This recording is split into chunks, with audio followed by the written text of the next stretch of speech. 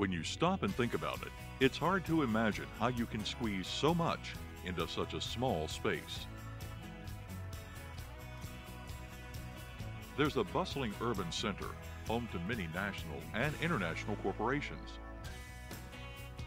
There's a thriving retail community, which draws thousands each day from neighboring states.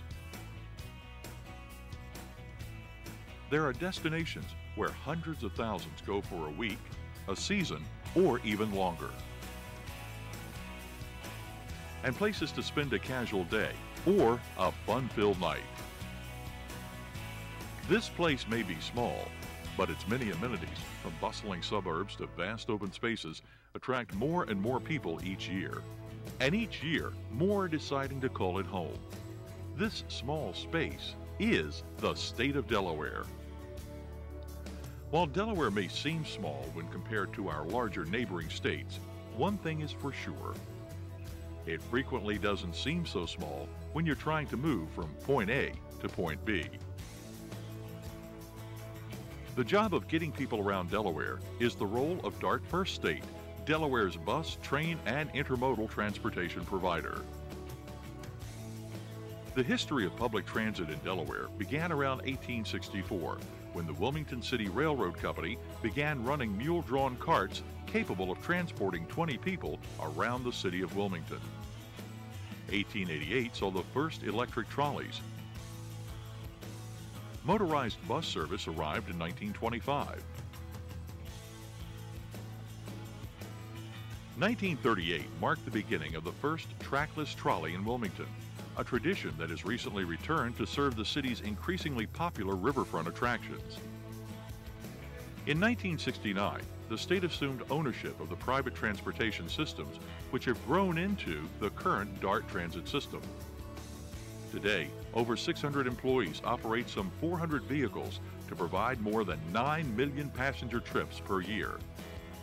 DART routes cover all three counties and also provide vital inter-county service all DART buses are 100% compliant with the Americans with Disabilities Act. In addition to buses, DART contracts with SEPTA, Southeastern Pennsylvania's Transportation Authority, to provide 36 daily and 12 Saturday commuter trains between Wilmington and Philadelphia. It is estimated that DART buses replace over 3 million single occupant vehicle trips each year. But even with all this public transportation in this small space, it is increasingly clear that the road to the future will present a challenge if we're to keep Delaware a great place to live, work, play, and learn. The wonderful diversity that makes Delaware so attractive can also pose a problem when it comes to transportation. In the urban areas around Wilmington, the challenge is coordinating growth with the existing and future transportation infrastructure. Roads and highways take years of planning and construction, but new developments with thousands of households can spring up almost overnight.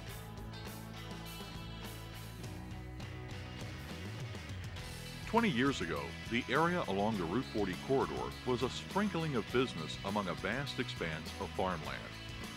Today, it's obvious that the suburbs of Wilmington now reach to the border of Kent County. Future development, both in the core and on the edges of the New Castle County area, will require forward thinking.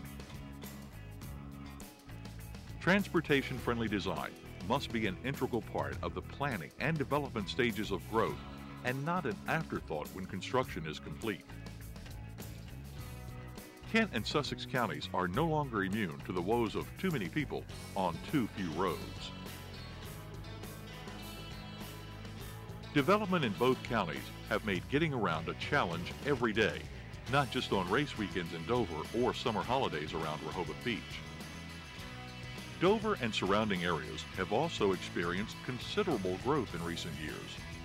Delaware's capital city has evolved into an entertainment destination, a tax-free shopping mecca for nearly 1 million people in the Maryland Shore counties, the hub of our growing state government, and the home of one of the largest military operations centers on the East Coast.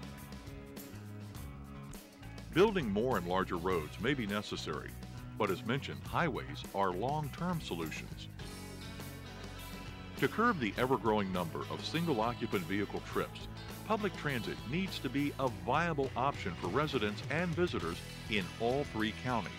An option that makes more sense than driving alone in a car.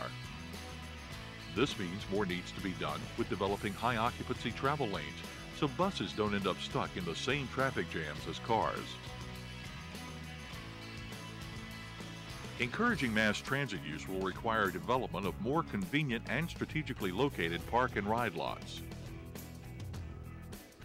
Joint ventures in cooperation with public and private institutions and businesses can also provide incentives for people to leave their car and take the bus. While young families pour into the job-rich market around Wilmington, at the other end of the state, retirees from both in-state and out have made Sussex County one of the top five retirement areas in the nation. Meeting the specialized needs of seniors as well as those of the low-income workers and students must be a consideration in all transit system design. The road to the future of transportation in Delaware must be a road that we move along and not a road we're stuck on.